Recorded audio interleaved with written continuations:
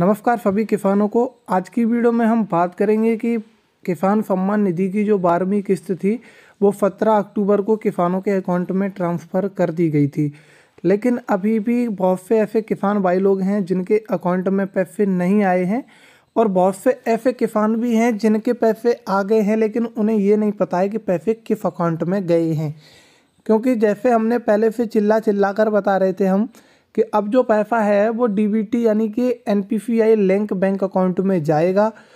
और कुछ किसान भाइयों को ये भी नहीं पता है कि उनका एनपीसीआई लिंक बैंक अकाउंट कौन सा है, उनका पैसा कहाँ चला गया। तो सबसे पहले तो हम ये बताएँगे कि आपको ये कैसे पता करना है कि आपका पैसा किस अकाउंट में गया है।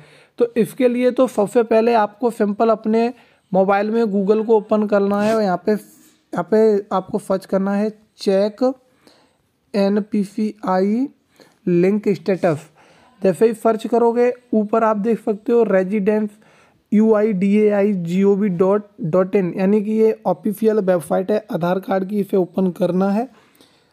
नीचे यहाँ पे आपको अपना बारह डिजिट का आधार नंबर डालना है और ये जो कैप्चा दिया हुआ है, इसे ऊपर डाल के सेंड ओ टी पी पर आपको क्लिक कर देना है। अब आपके नंबर पे एक ओ टी पी आएगा, जो नंबर आपका आधार कार्ड में लिंक है।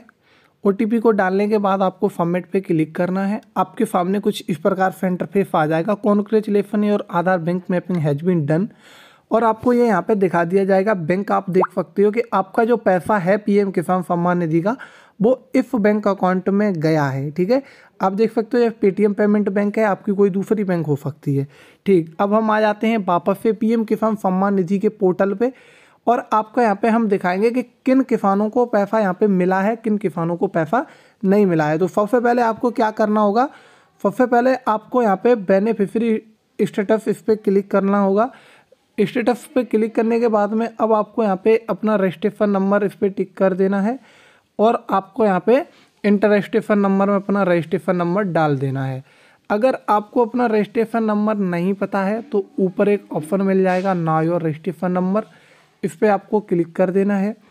यहाँ पे एंटर मोबाइल नंबर, आपको वह मोबाइल नंबर डालना है जो मोबाइल नंबर आपके आधार कार्ड में लिंक है, या फिर वो मोबाइल नंबर डालना है जो मोबाइल नंबर आपने पीएम किसान पोर्टल पर रजिस्टर्ड कराया था। नीचे दिया हुआ कैप्चा यहाँ पे डाल के, ओटीपी डाल के सबमिट करोगे, रजिस्ट्रेशन नंबर आपका मिल जाएगा। तो मैंने अपना रजिस्ट्रेशन नंबर निकाल लिया है। तो मैं आपको अपना रजिस्ट्रेशन नंबर डाल के यहाँ बेनिफिशरी स्टेटस एक चेक कराता हूँ। और ये भी बताऊँगा कि वेटिंग फॉर अप्रूवल ऐसा कुछ आपको दिखाई दे रहा है तो वो पैसा आपका कितने दिन में आ जाएगा, क्यों आ रहा है कंप्लीट इस वीडियो में जानकारी देने वाला हूँ। तो आप यहाँ पे देखोगे कि हमने एक किसान का ये स्टेटस है, इसे ओपन कर लिया है। तो आप इसमें ये देख सकते हो, इनकी जो एलिजिबिलिटी है, वो भी यहाँ पे यफ है और आधार डेमो अथेंटिकेशन स्टेटस इनका फकफेज है। आपका सेम टू सेम होना चाहिए, आप मैच कर लीजिए। और P F M F bank status है, वो भी इनका अफेक्टेड है ओके और जो लैंड फीडिंग है, यानी कि ज़मीनी जो डिटेल्स है, वो भी इनकी यहाँ पे अफेक्टेड यानी कि एफ़ है। अब बात करते हैं हम फाइड पे आ जाएँगे यहाँ पे। ऊपर आप लोग देख सकते हो कि इनकी जो ई के वाई फ़ी है, वो भी यहाँ पे डन है। आप यहाँ पे ई के वाई फ़ी देख सकते हो, इनकी ई के वाई फ़ी यहाँ पे डन है। अकाउंट नंबर एन ए है, क्योंकि अकाउंट नंबर यहाँ पे नहीं लगा हुआ है, हमने बताया था कि पैसा है, वो आधार बेस पे जाएगा। अब आप लोग यहाँ पे देख सकते हो जैसे ये किसान इनके जो पैसे थे, वो पहले बैंक ऑफ़ इंडिया किसी गलत अकाउंट में जाते थे, ठीक? लेकिन अब इनका आप लोग देख सकते हो, यहाँ पे पेमेंट प्रोसेस्ड हो गया है। पेमेंट प्रोसेस्ड का मतलब ये पेमेंट इनके अकाउंट में भेज दिया गया है।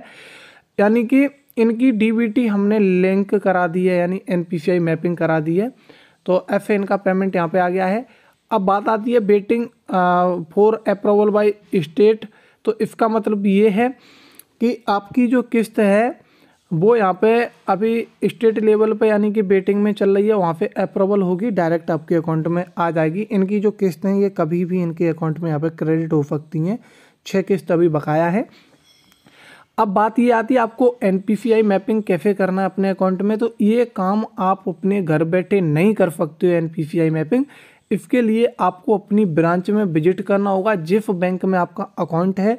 उस बैंक में आपको मैनेजर साहब से बोलना है कि सर, हमारे अकाउंट में एन मैपिंग कर दीजिए, जिससे कि मुझे डीबीटी का लाभ मिल सके, गवर्नमेंट सब्सिडी मेरे अकाउंट में चली आए सीधी सीधी आपको वहाँ पे आना नहीं है डॉक्यूमेंट दे करके, आपको सिंपल वहाँ पे अपना फिंगर लगाना है, तभी आपका जो एन मैपिंग है वो सक्सेज होता है, ये आपको ध्यान रखना है। अगर आपको बैंक में बताया जाता है कि आप घर जाइए, हम आपकी एनपीसीआई मैपिंग कर देंगे तो ऐसा बिल्कुल नहीं होता है। आपकी बिना फिंगर के एनपीसीआई मैपिंग नहीं होती है।